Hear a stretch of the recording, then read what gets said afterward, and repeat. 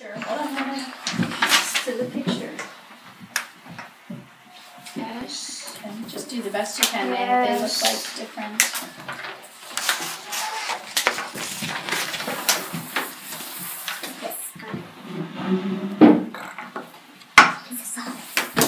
I shall work on this. Boing. Nice writing. And move to the next Hacking peanuts.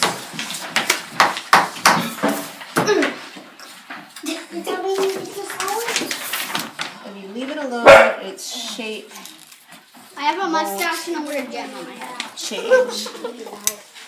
Okay.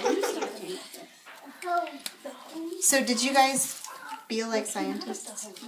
No. Are you all done or do you want to learn one more thing? One more thing. Okay.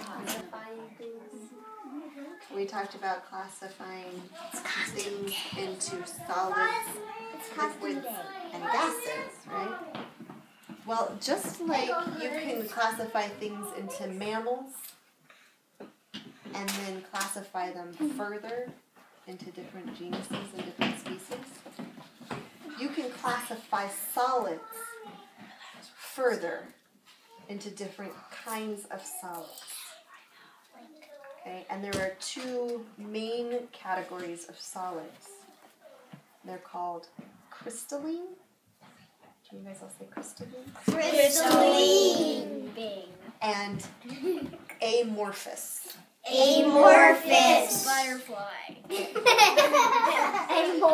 amorphous butterfly. So who who wants to raise their hand and take a guess at what crystalline means? Shiny. Shiny. Shiny stone. Shiny stone. Okay, what about amorphous? Something that you can change if you touch it. It can be like wee and drawing. Okay, why do you think that? Presley, why do you think that? Because it's amorphous. You can kind of morph it. What is morph? Change. Change. You can change it into a cat. Okay, You so cannot change it off. so maybe an amorphous solid is something that can be changed. Like Play-Doh. And those Play-Doh and those noodles. You think those might be amorphous solids? So what do you think makes ah. this one crystalline solid? Hey, Things which you stop. things which you cannot change, like this magnifying glass, you can't go like Hi. my my name is CBBB.